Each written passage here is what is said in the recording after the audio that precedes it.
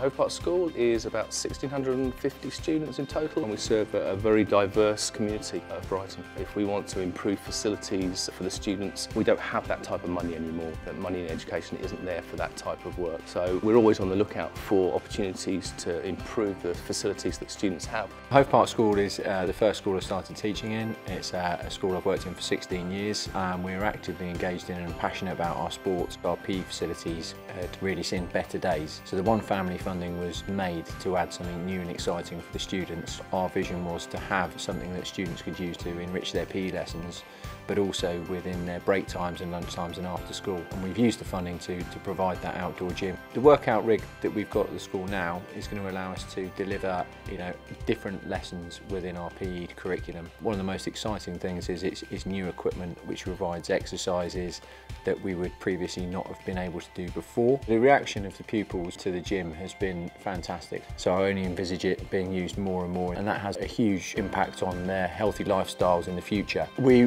were told about the OneFamily funding process through a couple of parents in the school and decided it was worth applying and very, very pleased that we did. If I was giving advice to, to anybody looking for OneFamily funding, then I would say go for it. You've got absolutely nothing to lose. The OneFamily opportunity was about bringing the community together to achieve something for us as a school. Together we achieve something really significant that the students will be able to use for generations to come.